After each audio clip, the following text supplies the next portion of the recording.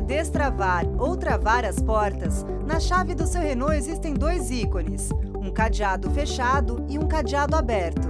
Ao travar as portas, as luzes de advertência e dos piscas laterais piscam duas vezes.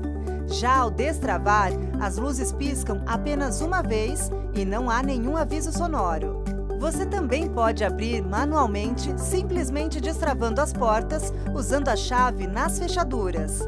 Ao clicar neste botão no console do seu Renault, você travará todas as portas imediatamente. Para detalhes e outras informações, consulte sempre o seu manual do proprietário ou a sua concessionária Renault.